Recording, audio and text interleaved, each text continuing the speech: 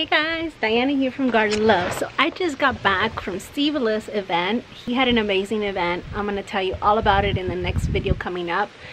I just finished offloading my car.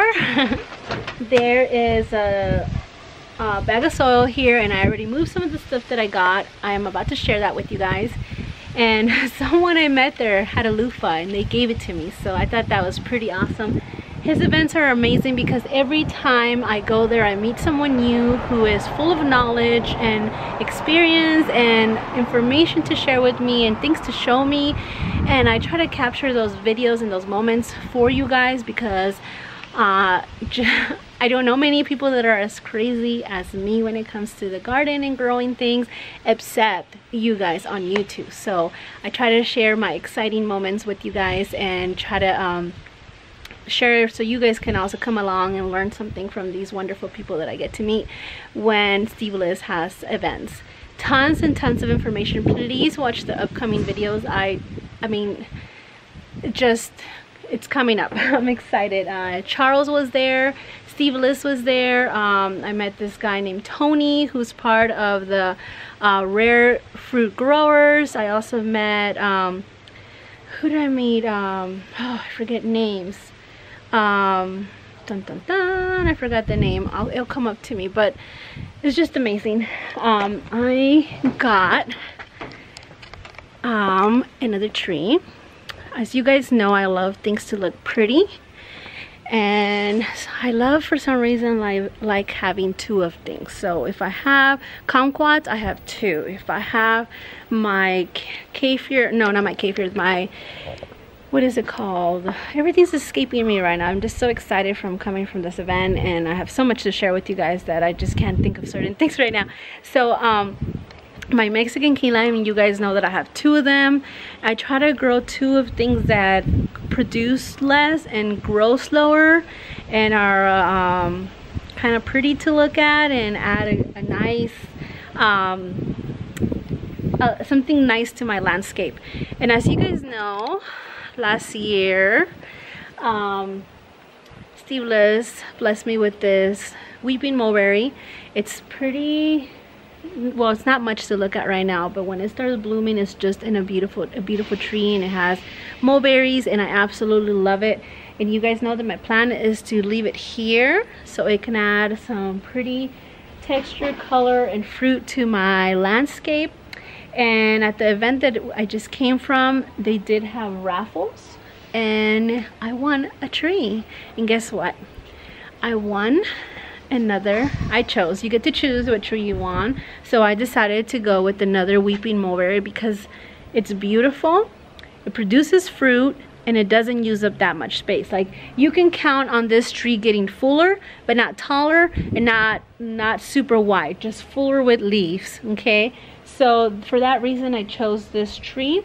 Um, and amazing Steve Liz gave me some things that I've been looking for. Um, I have big plans for this area. However I don't have the muscle to do it uh, or the time at the time at this time. So therefore I'm going to use these containers for the time being until the right time. And I have the right um, tools and time to do so. And uh, he gave me these big wooden containers which fit perfectly in the area that I want them to go as you can see. And I am going to put them there I might stain them the same color as this or I might stain them black I'm not sure looking for feedback down in the comments down below um, but how pretty is this going to look with these weeping mulberries on each side of this uh, privacy fence. I'm super, super excited because I think when you come into this side of my house, I'm going to walk from the gate so you guys can see. Um, okay, I did these I did these planters last year. This planter didn't make it. Well, at least the vine that I put to grow there, which is fine. I'll get another one and put one there so when you come in you're gonna see these beautiful vines with flowers obviously my avocado some banana string of bananas my beautiful laura bay and two beautiful weeping mulberries, one on each side of this fence. And I just think that's gonna look amazing. Another thing that I wanna do is, I want, remember that pomegranate tree that I have on the other side of the house that I wasn't sure if I was gonna put in the ground or put my blood orange? Well, I decided after really thinking about it and getting everybody's feedback and everybody agreed that the, the um, what do you call it?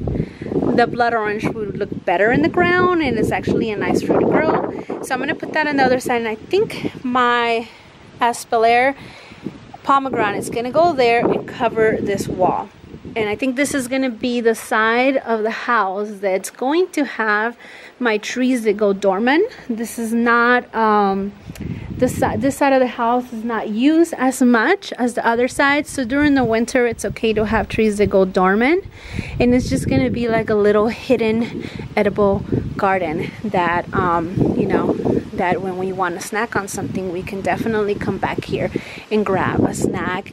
Um, during the summer, it gets really hot, so this side of the house does get a little bit of shade, and there's a beautiful, um, there's a beautiful bench there there we can come and sit and have a snack enjoy my garden and at some point I will also want to build a trellis going up this section of the wall and a trellis going up on this section of the wall kind of like I have on the other side of my garden and um, maybe grow some um, kiwis some other vine that's growing edibles and stays evergreen not sure. I'm gonna have to do some research but I was thinking about kiwis. Let me know what you guys think about that. I love getting your feedback just because some of you guys bring up great points that I hadn't even thought about.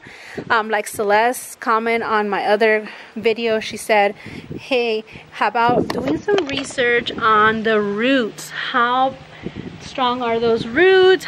Um, you know because you don't want to have a very aggressive tree growing in a place that's near to your near your house and then basically damaging your foundation or piping which are I hadn't even thought about that. So I did do some research blood orange they don't have i mean every tree can potentially be aggressive but blood orange are not super aggressive so i think we would be fine. Before i moved in there was a tree near that area so i think it would be fine. But like i mentioned you guys bring up so much good points um, bring up things that i hadn't thought about. You guys teach me things and uh, it, allows me to do my own research and then um, make my own decision based on what you guys tell me and based on what my research is and considering my microclimate and what I have going on here in California, Zone 9B.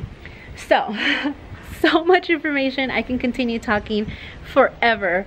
But for this video, all I wanted to do is share what's going on on this side of the garden, the ideas. I'm going to be repotting these. I can't wait to see what the roots look inside of um, these, these mulberry containers.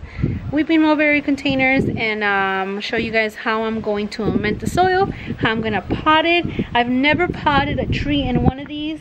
Um, there's as you can see grid so there's no need for me to cut holes. What I will be doing is probably putting a mesh mesh or some coffee bean uh, filters so the soil doesn't just kind of drain out of the the grids there because I want to keep it in the container.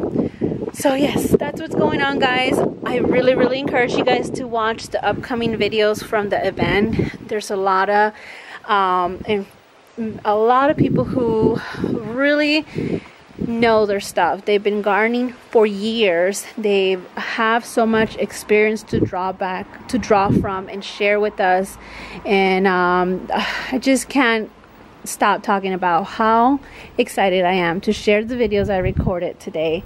And um, they're going to be kind of long because there is going to be a lot of information in those videos. So um, I hope you guys get through them and find it as informative as I did. Alright guys, as you guys know, I can talk forever. So I'm gonna let you guys know. I hope you guys have a blessed day. I'll see you guys in the next one. We are having wonderful weather here in California and I am eager to go for a run, to go do some outdoor activities, even get in the garden. I had a busy day today. It's already almost 2 and I've been gone all morning. So there's a lot to do and I just can't wait to continue doing things. Alright guys, you guys have a blessed day. Bye-bye.